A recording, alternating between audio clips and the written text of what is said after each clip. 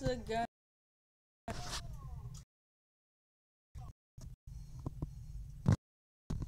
So, so you see me right now, hopefully.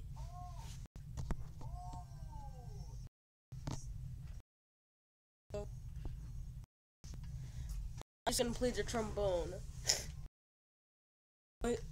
Oh, to joy, this is the trombone part, and it is. Let's do. It.